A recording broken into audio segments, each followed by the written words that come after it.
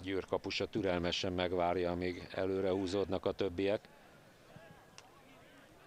Na, ez itt Dinyár előtt a helyzet, és meg is szerzi a vezetést a Győr.